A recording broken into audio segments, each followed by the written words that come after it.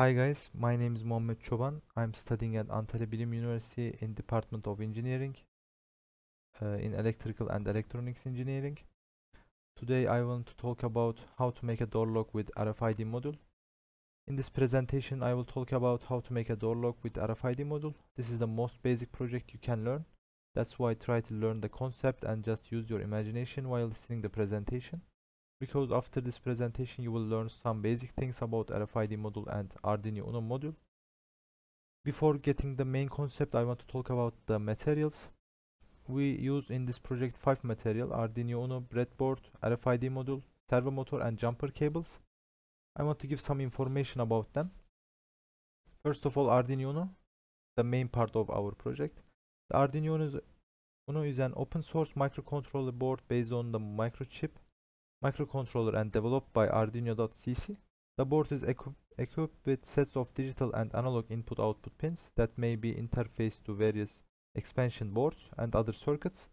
The board has 14 digital input-output pins, 6 analog input-output pins and it's programmable with the Arduino Uno, sorry Arduino IDE, Integrated Development Environment, via a Type B USB cable it can be powered by the USB cable or by an external 9 volt battery, though it accepts voltages between 7 and 20 volts. What is an Arduino IDE? Arduino IDE is a programming language like Java and Python. If we don't know Arduino IDE, we cannot even turn the servo motor. So if we want to make a project with Arduino we have to know this language. Arduino looks like this. This is a photo of it.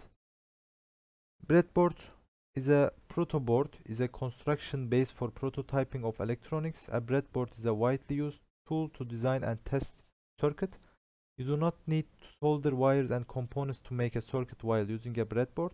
It is easier to mount components and reuse them. Since components are not soldered, you can change your circuit design at any point without any hassle. It consists of an array of conductive metal clips encased in a box made of white ABS plastic where each clip is insulated with another clips. This is the photo of it. RFID module, it's the most important thing after Arduino. We have to know the concept of it. RFID is an acronym for radio frequency identification and refers to a technology whereby digital data encoded in RFID tags or smart labels are captured by a reader via radio waves RFID is similar to barcoding in that data from a tag or label are captured by a device that stores the data in database. RFID, however, has several advantages over systems that use barcode as a tracking software. The most notable is that RFID tag data can be read outside the line of sight, whereas barcodes must be aligned with an optical scanner. Here's the photo of it. Servo motor. A servo motor is a self-contained electrical device that rotates parts of a machine with high quality and with great sensitive. The output shaft of this motor can be moved to a particle angle, position and velocity that a regular motor does not have. So it is important for us again. And it is small and amazing. This is the photo of it. Jumper cable, I think all of us see once in our life, uh, especially in our school. We all of us use it a lot in lab lessons.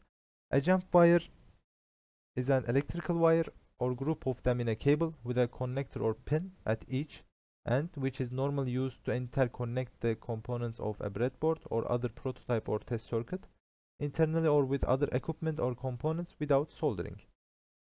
This is the photo of it. After all these informations, how we will use these metals in our project, the question is this. Let's talk about it. This is the photo of a connections of the materials.